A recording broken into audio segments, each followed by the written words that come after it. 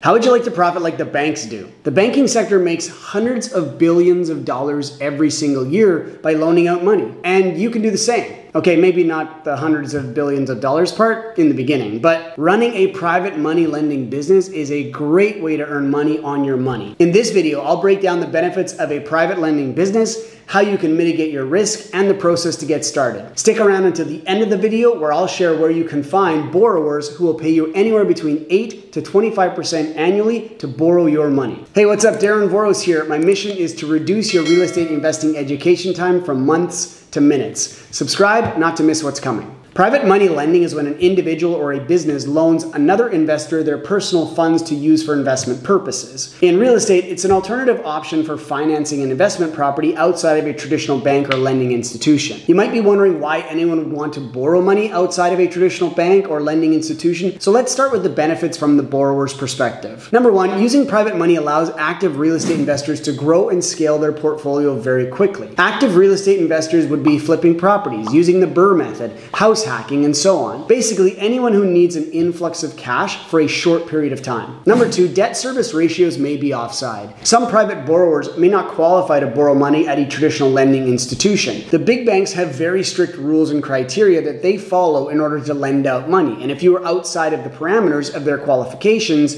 you'll not qualify to be a borrower. Number three, private lending has much more flexible terms. Everything is negotiable with a private loan. The amount of time you need the money, the interest rate, the payment payment terms, the lender fees, and when and how you pay those funds back. Number four, no refinances within 12 months. Many lending institutions will not consider a refinance of a property within 12 months of buying the property. They are concerned there could be fraudulent activity. So if you plan to use the BRRRR strategy, where you buy a property, renovate it, rent it out, and then refinance it, and you plan to do that all within six months, you will have a hard time getting a traditional bank to refinance it within your time frame. Number five, securing long-term financing. Getting long-term financing on a property is much easier when you already own a property versus trying to buy it. So if you can get a private loan to buy the property and then move it to a traditional lender with lower rates, your chances of being approved go up significantly when you own the property already. These are all great benefits to the borrower of your money, but what are the benefits for you as the lender? Number one, passive investing.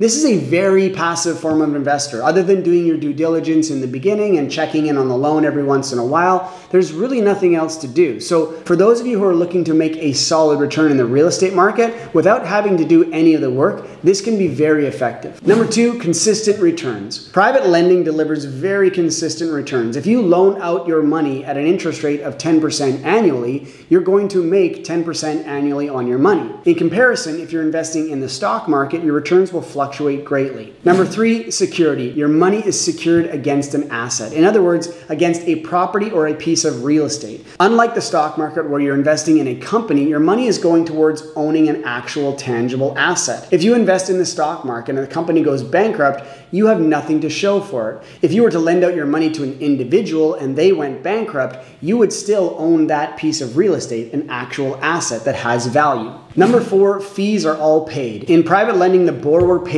all of your fees. They might pay a lender fee, your legal fees, the fees for your appraisals, and many more. So when you're lending out your money, you have no overhead or expenses. Number five, registered funds. You can use registered funds in private lending. If you're in Canada, you can use your RSPs, your RRIFs, your LIRAs, your RESPs, your TFSAs. Anything registered with the Government of Canada can be used in private lending. If you're in the US, you can use your 401k or your Roth IRA. The benefits of these are that you can be in a tax free or tax deferred environment while making a return in the real estate market. For more information on exactly how to set up your registered funds for private lending, check out this video right here after this video. So far, this all sounds pretty good, but I know what you're thinking. If it's too good to be true, it probably is. What are the risks? Investing of any kind has potential risks, but private lending is a relatively secure investment if you go about it in the right way. The worst case scenario is that your lender doesn't pay you back your money. But remember, we are acting just like a bank and following the same legal rules the banks do. So we have the choice to force what's called a power of sale when we are a private lender, which means that if the borrower doesn't pay me my money, I can sell the property and pay myself back with the proceeds. This is why it's important for us as private lenders to mitigate our risk. We can do this by looking at the loan to value amount the position the mortgage is in. A loan can be registered against the title in first, second, or third position. The history of the borrower is also very important, along with the type of property, the location of the property, and the plan for the property. How much risk you're willing to take on is up to you as the private lender. But the good thing with private lending is your rates that you can charge are a direct reflection of the amount of risk you are willing to take on. So the higher the risk, the higher the reward. The process to set up a private loan is relatively straightforward. Step one, find a suitable borrower. Step two, make them an offer. In that offer, you would lay out the loan amount, the interest rate you will charge, the position the mortgage will be in, any associated fees, the loan term length, and whether the loan will be an open loan or a closed loan. In other words, whether the loan can be paid back early with no penalties or whether the amount of interest being charged is a fixed rate regardless of whether they pay out early or not. Step three is performing your due diligence. This would be a review of the borrower's documents that you have requested and an appraisal of the property and anything else you feel is necessary. Step four, lawyer review. Your lawyer will draft a loan commitment. This would be all of the terms that were laid out in step two, as well as the legal wording should anything go wrong. Step five, sign the legal documents with your lawyer. Step six, advance your funds to the borrower. Step seven, check in on the progress throughout the loan term. Step eight, close out the loan at the end of the term. And step nine, repeat the process. As you start to build your private lending business, the process should become more and more familiar and should take you less and less time. Now, as promised, I wanted to share the best places to find private borrowers. By far, the best place is through real estate investing networking groups. As an active real estate investor myself, I am always borrowing private money.